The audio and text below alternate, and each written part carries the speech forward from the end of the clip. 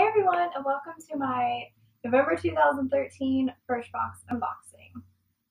So I just got this in the mail today, and it feels really, really heavy. Probably one of the heaviest boxes I have ever gotten. So just gonna go ahead and if you hear my dog barking in the background, I'm sorry, but he is not in a good mood today.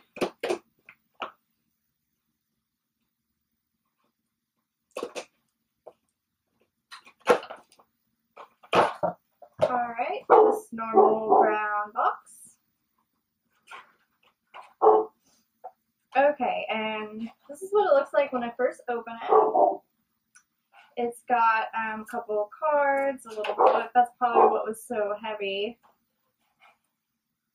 And the theme is more good. And these are the things that I got. Alright, Ooh, the first thing that I see is this It's a 10 Miracle Leave-In product. And I've tried this before and I really liked it. I am out of it right now, so I mean, that's a pretty good sample. Very happy to get that. The next thing I see is a Supergoop CC cream, and that is a very, very small sample. And I feel like I've been getting um, CC creams every month in my box. I don't know about you guys. But the color is light to medium, self-adjusting shade. So.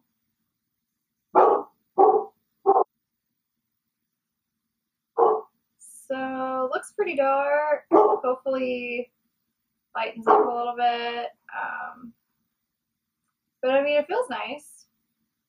We'll see. And then the um, next thing I got was a perfume sample, which I did um, mark on my profile to only get um, like six per year or something like that. And I haven't really got one in probably five months. And I'm actually happy to get this. It's the Viva La Juicy Noir by Juicy Couture. And let's smell this. I feel like it smells just like Viva La Juicy. Actually, it smells like my Viva Juicy La Fleur. Probably won't purchase this, but it is good to try. I did want to see how similar it was to the Juicy, the other Juicy fragrances.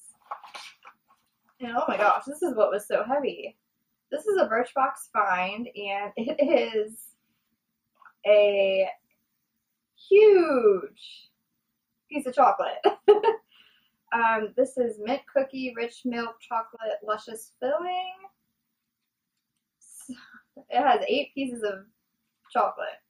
So that is, I mean, that's a really big, big, big sample. But I mean, chocolate, okay. I mean, I would prefer not to get them in my Birch boxes or Ipsy bags or whatever, but it's better than nothing. And then, oh, I got two more things. So, I got six things this month. And the next is a color Club nail polish in Dark and Stormy, which looks like a metallic dark gray, which I'm sure I have something really similar to that. And then the last little sample is Dr. Lipp Original Nipple Balm for Lips, 100% natural. So this is a um, long-lasting lip gloss, I guess. It looks really thick, like like a Vaseline. I'm not gonna try it, but yeah. So that's everything I got in my November 2013 Birchbox. If you would like um, to see a little mini review um, after the unboxing, then please leave a comment below and let me know if you would like to see that, and I will do those. Have a great day. Bye bye.